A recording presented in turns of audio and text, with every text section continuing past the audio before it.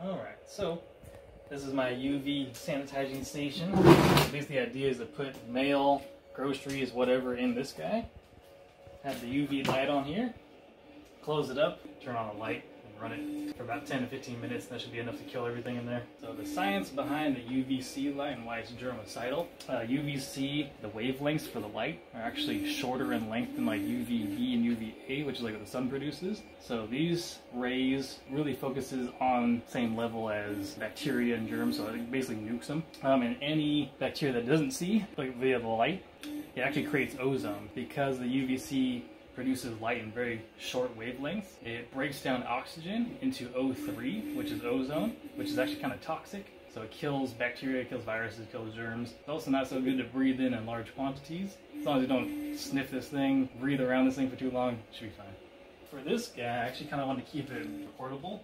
So the idea is I'm going to install the light, make a relief cut in the lid so I can hang the wire out, run it to my jump pack. So let's get to it.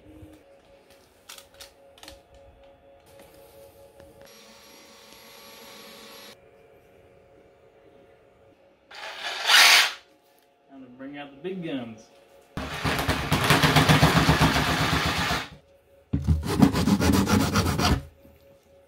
And the wire should pass through right here. And then where the light's mounted, gonna be on the underside of the lid right there.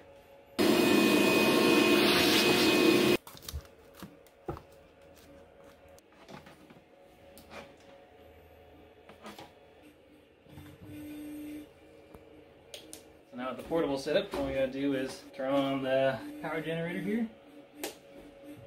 And then there we go.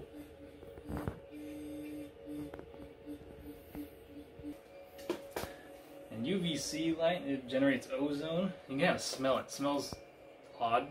I guess it smells kind of like electricity or ions. I don't know. Some, some kind of weird. I guess it smells like ozone. But that's what kills germs too. It's so weird.